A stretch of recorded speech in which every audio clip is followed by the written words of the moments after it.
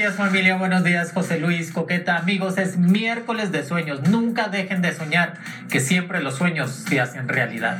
Y nos escribe Esmeralda Villa, de aquí de Los Ángeles, California. Sueño que estoy en un hospital, Moni. ¿Qué significa? Cuando tú sueñas que estás en un hospital, Esmeralda, significa que necesitas curar el alma, el cerebro, si, si traes muchos problemas en tu casa de nervios, hormonales, trata de ir con alguien a que te ayude. O si no, tú misma trata de rezar mucho el Salmo 140 de la Biblia y ponerte agua bendita para quitarte todas esas energías negativas. Iván Torres, de Texas. Sueño con mucho dinero y oro. Cuida el dinero. Cuando tú sueñas que te sacas la lotería, que ves dinero, oro, es que significa que debes de tener cuidado con el dinero. Es muy importante ser más administrado, no gastar por gastar. Ahora que va a ser Navidad, recuerden que los mejores regalos son los que hace uno mismo, de corazón, para todos.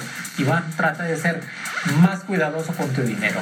Michelle Hernández, de Florida, sueño que me caso. Michelle, cuando tú sueñas que te casas, es que hay algo muy oscuro atrás de ti. Es algo muy negativo, así que debes de tener mucho cuidado en cuestiones de tener precaución en tu casa, en la calle, este, rezar más, tener un poco más devoción a la Virgen María.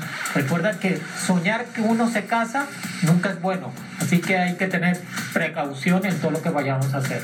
Gracias amigos y mañana los veo en predicciones navideñas.